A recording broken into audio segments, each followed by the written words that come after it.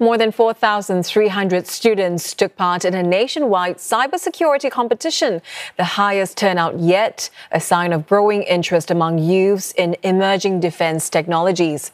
Organized by the Defense Science and Technology Agency, the event is part of a broader push to groom potential talent and strengthen Singapore's national security. Eugene Chow has more. This isn't an ordinary toy crane. It's a test to see if students can hack its systems. That's what the 300 over finalists in this hall are doing. I've learned how uh, attacker thinks and what are some of the ways that he might use to actually exploit certain ways. So since every time that I've joined this BrainHack itself, I've learned new techniques, new ways that I can use to solve challenges. Ravin says the competition has helped him learn from other students, and that motivates him to do better each time. Since 2019, BrainHack has given youths the chance to try out real world defense problems that Singapore faces.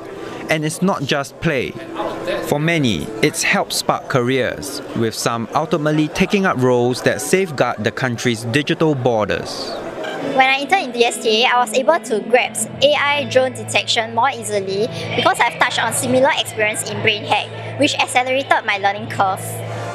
At the awards ceremony, Senior Minister of State for Defence Zaqy Mohamad says countries globally are increasing their defence spending and Singapore must stay ahead of the game. For a small nation like Singapore, these global developments are instructive we think they are quite obvious what we need to do. We must be vigilant, agile, and forward thinking.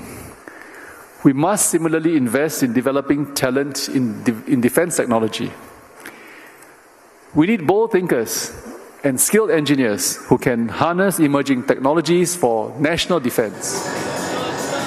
19 teams emerged as winners in this year's BrainHack competition and it's hoped that these young minds will shape the future of Singapore's digital defense with one line of code at a time.